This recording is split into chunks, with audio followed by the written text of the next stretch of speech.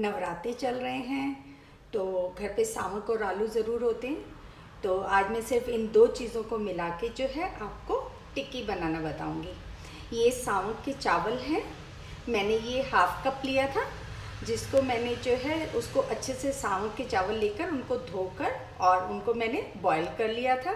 मैंने इस, ये हाफ़ कप है तो मैंने सवा कप पानी लिया था और उसको मैंने बॉईल कर लिया था। अब मैंने इसको ठंडा कर लिया है। चार मैंने आलू लिए हैं मीडियम साइज़ के बॉईल किए हुए। तो अब जो है मैं इनकी टिक्की बनाना बताऊँगी। ये बहुत ही आसान है और बहुत जल्दी से भी बन जाती है और बहुत ही यमी लगती है खाने में। अब मैं आपको इनके इंग्रेडिएंट्स बता देती हूँ। ये मैंने दो हरी मिर्च ली है, जिनको मैंने बारीक चॉप कर लिया ये मेरा सेंधा नमक है, ये कुटी काली मिर्च है और ये भुना हुआ जीरे का पाउडर है और ये हींग है। तो मैं बनाना स्टार्ट करती हूँ।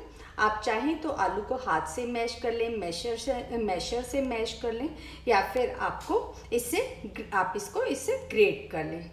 अब सबसे पहले जो है, मैं आलू को इससे ग्रेट कर लूँगी।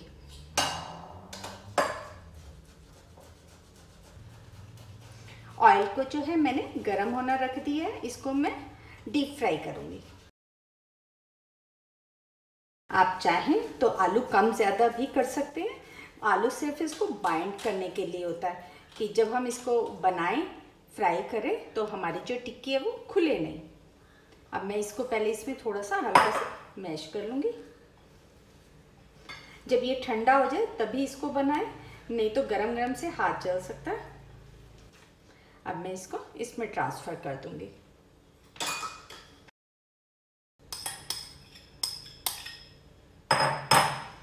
हम इन्हें अच्छे से मिक्स कर लेंगे। अब हम इसके अंदर जो है, ये हरी मिर्च डाल देंगे। इसके अंदर मैं नमक डालूँगी half teaspoon one four teaspoon जो है मैं इसके अंदर कुटी काली मिर्च डाल दूँगी और वन फोर टी स्पून ही मैं इसमें जीरा पाउडर डाल दूँगी। और लगभग दो पिंच के करीब जो है मैं इसमें हींग डाल दूँगी। अब मैं इन सबको अच्छे से मिक्स कर लूँगी। मसालों को जो है मैंने अच्छे से मिक्स कर लिया अब मैं इसकी जो है टिक्की बनाऊँगी। अब हम इसकी टिक्की बनाएँगे। आप चाहें तो बड़ी बड़ी टिक्की बना सकते हैं या छोटी छोटी भी बना सकते हैं, जैसे आपको अच्छा लगे। अगर आपको लगता है ये थोड़ा स्टिकी है तो आप हाथों को थोड़ा ऑयल लगा लें। मैंने ऑयल नहीं लगाया। इस तरह से मैं सारे डो की जो है टिक्की बना लूँगी। टिक्कियाँ मैंने बना ली हैं। अभी भी मेरा बैटर बचा है। मुझे अभी पूरा नहीं चाहिए तो मैंने जो है कुछ बैटर बचा दिया है। ये मैंने आठ टिक्की बनाई है। इसमें पाँच छः टिक्की आप आराम से और बना सकते हैं। मीन्स आधा कप आप सामक लेते हैं और चार आलू तो आपको लगभग चौदह पंद्रह टिक्की आपकी बन जाती है। तेल हमारा गर्म हो गया तो अब मैं जो है टिक्की को तलूँगी। हम इसे मीडियम फ्लेम पर तलेंगे।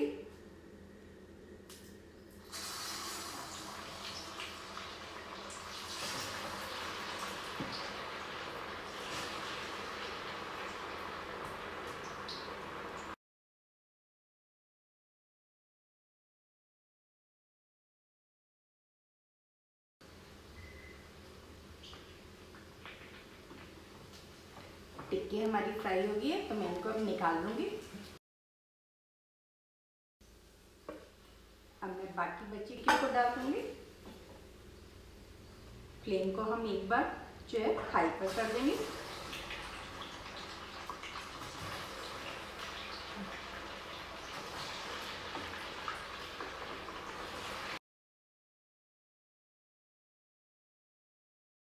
को हिलाकर देखेंगे। अभी फ्राई नहीं हुई है।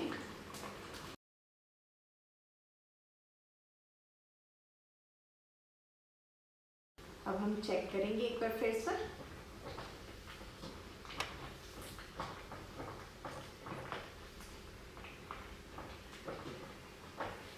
टिक्की हमारी एक तरफ़ से फ्राई होगी तो मैं टिक्की को पलट दूँगी।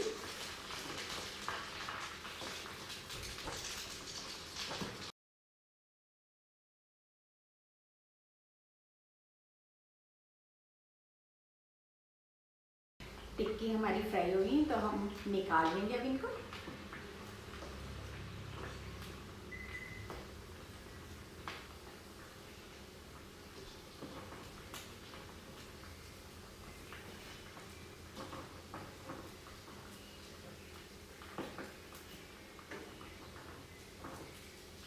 अब मैं गैस को ऑफ़ कर दूँगी।